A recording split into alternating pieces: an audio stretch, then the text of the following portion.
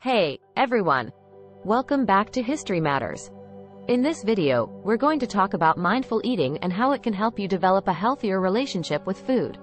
Mindful eating means paying attention to the present moment and savoring each bite of food. It's about being fully present and engaged in the eating experience. One of the simplest ways to practice mindful eating is to chew your food slowly and thoroughly. This allows you to fully taste and enjoy the flavors and textures of your food. Another way to practice mindful eating is to put your fork down between bites. This helps you slow down and focus on your food, rather than rushing through your meal. It's also important to pay attention to your hunger and fullness cues. Eat when you're hungry and stop when you're full. This can help prevent overeating and promote a healthier relationship with food. You can also keep a food journal to track your eating habits and emotions. This can help you identify patterns and triggers that may be affecting your eating habits.